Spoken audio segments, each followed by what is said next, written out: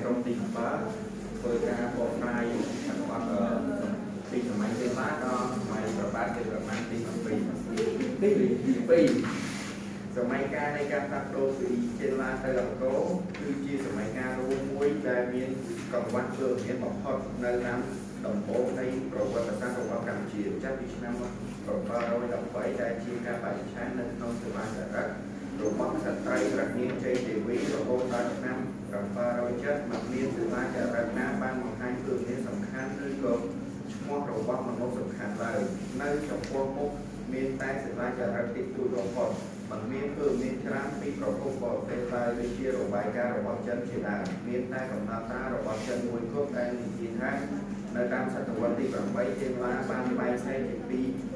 ប្រទេសគឺចេនឡាកូនិងចេនឡាតាត់ ជាតសូម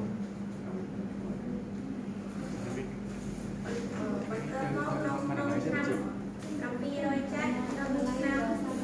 786មានសិលាចារឹកដែលសរសេរឡើងជាជាភាសាសំស្ក្រឹតសំស្ក្រឹតសំស្ក្រឹតពេញទឹក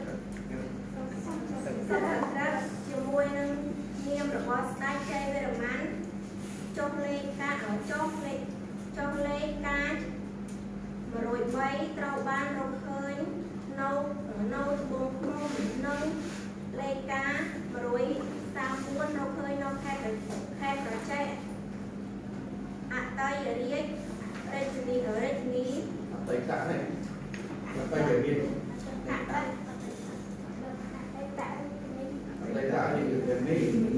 អតីតរាជរាជធានីសណ្ដូកសំភុសំភុបរៈសំភុបរៈសន្ធុបុរៈបន្ទាប់បន្ទាប់ពីនោះមកគឺសេកសិលាចារការ120 124រកឃើញនៅរក ឃើញនៅសម្បូរនៅចិត្តប្រចែកបានបង្ហាញពីគ្រួសារមានជំងឺមួយមាន4ជំនាន់ដោយបញ្ចូលទាំងស្ត្រី4អង្គដែលបានគ្រប់គ្រងភាគច្រើននៅនៅតំបន់សម្បុកសម្សំភុសម្ពុបុរៈនៅសតវត្សទី8 1808មួយឆ្នាំបន្ទាប់ពីប្រវត្តិសាស្ត្រក្នុងស្រុកបាននិយាយថាជ័យវរ្ម័នទី2បានខ្លាយជាស្ដេច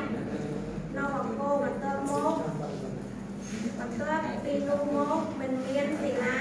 ចារឹកច្រើនទេរហូតដល់ឆ្នាំ872ក្នុងរាជស្ដេចឥន្ទ្រវរ្ម័នដែលមានសិលាចារឹកជាច្រើនជាពិសេស